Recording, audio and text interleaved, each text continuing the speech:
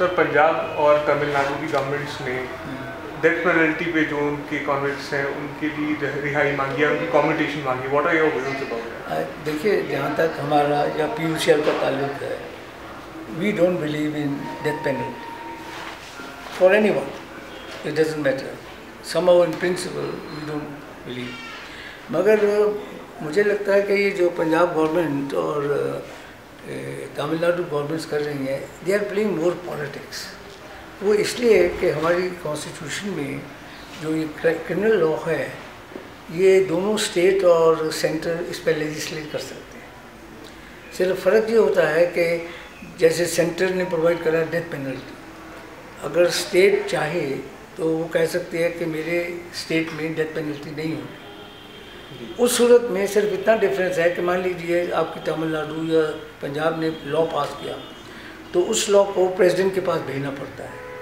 And president normally will give approval वो approval दे दे तो उसका रिज़ल्ट ये होता है, अगर नहीं अप्रूवल दे, तब बदनामी होगी सेंटर और अगर अप्रूवल दे गया तो फिर पंजाब ने और तमिलनाडु में आप हैंडलिंग नहीं कर सकते। तो फिर खुद ब खुद बात ख़त्म हो जाएगी। तो इसलिए if these ministers and parties are honest तो कोई वजह नहीं कि वो ये एक जो सीधा रास्ता है, वो नहीं इख्तियार कर रहे शोर मचा रहे हैं पटिशन भेज रहे हैं डेमोस्ट्रेशन कर रहे हैं। तमिलनाडु में यूनानिमसली उनकी आपस में बातचीत नहीं तभी डी एम के और एम डी मिल के वो दोनों तैयार हैं। पंजाब में भी यूनानिमसली है।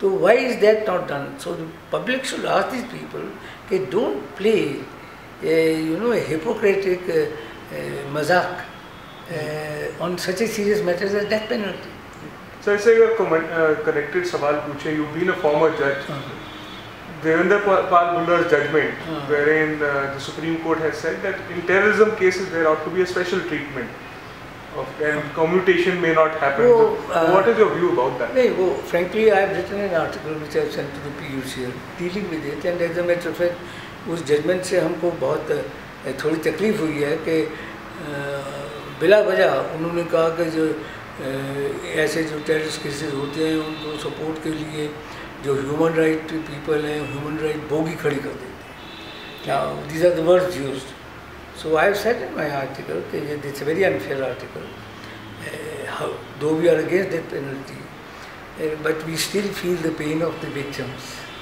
ऐसी बात नहीं है। मगर state is a repository of law. State cannot become a, you see, like an ordinary person. और ये कहना कि ह्यूमन राइट वालों ने P U C L has gone on record criticizing the terrorist for killing innocent people जब छत्तीसगढ़ में माओस वगैरह ने मारे तो P H have gone public criticizing this because you don't believe in violence. But that doesn't mean that state, in order to meet terrorism, should itself become a terrorist. State is the repository of law. State cannot violate the law because it has all the resources. So therefore, ये कहना कि जो क्योंकि हम death penalty को oppose principle करते हैं उनको ख्याल नहीं आता ख्याल तो आता है कौन कहता है जिनका जिनकी डेथ हुई है उनके बच्चों के या फैमिली के साथ नहीं so this was a very unfair comment जो कि हम का ह्यूमन राइट एक्टिविस्ट के ऊपर था पर बड़ी बात जो ये जैसे मैंने कही कि ये स्टेट गवर्नमेंट जो चाल चल रही है ये बहुत डिसऑनेस्ट है। बिकॉज़ इससे क्या है लोगों में लोगों को बता दिया। क्योंकि लोग जेनुअनली फील करते हैं कि कोई केसेज में कई जेनुअनली फील करते हैं। तो वो कहेंगे यहाँ सरकारें तो बहुत अच्छी है सेंटर खराब बैठा हुआ है रादर देन कि when the remedy is with you why don't you do it So in, in cases, would you suggest that in cases where there have been what they call the rarest to rare cases. Instead of death penalty, what should be alternative? Natural life? Life. I, I would say because life to, life to देनी पड़ेगी. So would you say entire life? हाँ life according to Supreme Court does mean life. अब वो बात और होती है कि there is special provision with the state governments कि बहुत देर के बाद वो देखें तो बिकॉज़ ये तो ऑब्वियस है ना because we we are not nobody suggesting that if a crime takes place, a person is not to be punished, he is to be, उसको बुला के प्यार करके उसको वापस छोड़ देना he has to be punished and uh, death के लिए वो death provided है of course of which we are against for more than one reason तो इसलिए उसमें लाइफ इम्प्रिजनमेंट देना life imprison not means life but it can happen that if in many some cases etc person's conduct is brought up, so state has always state and central government they always have a president and governor have always a power to remit it. But to start with I would say it should be a life imprisonment. क्योंकि उन लोगों को मानने में आसानी रहेगी ना उन लोगों को आम लोग को आसानी मानने में रहेगी क्योंकि अगर आप समझे तो जवान जो आदमी होगा मेरे ख्याल में उसको बेचारे को you would prefer probably death rather than life investment for the whole of unlike me मुझे तो कोई फ़र्क पड़ता है नहीं थे मगर जो यंग आदमी है उसको समझिए पच्चीस तीस साल जेल में काटते पड़े it's a greater punishment on then if you execute you once Yeah, when we speak of the alternative to when we speak of the alternative to death penalty, we say we te- we ta- talk about life imprisonment. Uh-huh. But in most cases, as we know, what happens with terrorist groups is that terrorists threaten the government and the people. Uh, that they would commit something horri- horrid, uh, or the government has to release the prisoner. So, what would we do in such instances? जैसे sir ICI act one hostage का case था Those are very rare cases. Those are very rare cases. And frankly, you know, it is a very hard decision for everyone. But uh, some uh, states, for example, I think one of the worst example is Israel or some others, they have made a policy that we won't uh, give it. It's a No, very, it's a very, I can tell you, it's a very difficult decision to get. For example, जब हमारे ये कंधार वाले case में हुआ था तो it was a difficult decision difficult decision was कि भाई वो उनतीस का करना है तो this is really human and individual matter this no hard and fast about I mean, uh, some people suggest that by if you have taken a hard line in the first instance, it may not have happened. But then, you know, democratic governments function in ways. So this has to be left to each opinion. You can't have any. So one more last question.